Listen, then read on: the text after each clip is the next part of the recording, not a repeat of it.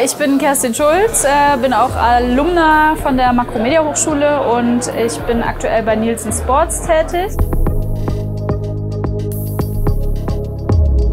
Ich glaube, so die wichtigsten äh, Dinge, die ich aus meinem Studium jetzt in meinem Job anwenden kann, äh, ist, dass ich immer aktuelle Beispiele hatte, an denen ich gelernt habe. Gerade diese, diese aktuellen Themen zu besprechen, auch Ansprechpartner zu haben, die in der Wirtschaft selber tätig sind, waren für mich wahnsinnig wertvoll.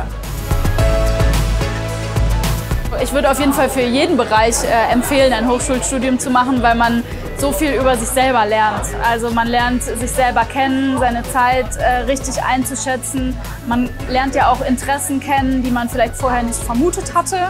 Und deswegen würde ich es eigentlich jedem empfehlen, äh, ob jetzt in meiner Branche oder in einer anderen.